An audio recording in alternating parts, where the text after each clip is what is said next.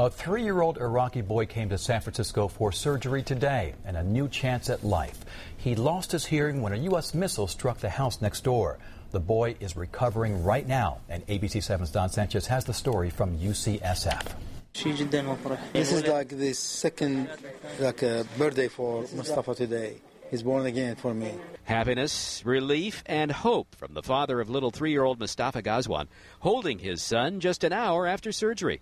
Mustafa's hearing was destroyed when that missile exploded in his neighborhood in June 2007. Three other children were killed. Mustafa was brought here from Iraq for the procedure, install a plant that turns sound waves into electronic signals. And the operation was a success. All right. Nice work, buddy. Nice work, doctor.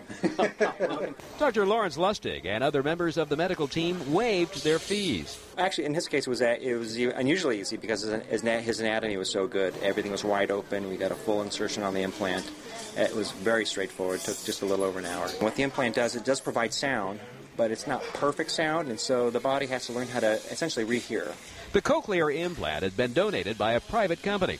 Mustafa and nine other children injured in the war were brought here by the group No More Victims. I wanted to create a way that American communities could pull themselves together, identify a child, and provide medical assistance to the child. They plan to bring more. I think it's a great expression of responsibility on the part of Americans for what has happened in Iraq. It has brought an outpouring of gratitude and emotion from this family. What he's saying is he's speechless.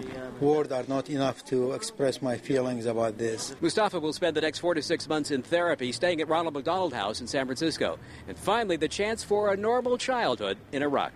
In San Francisco, Don Sanchez, ABC 7 News.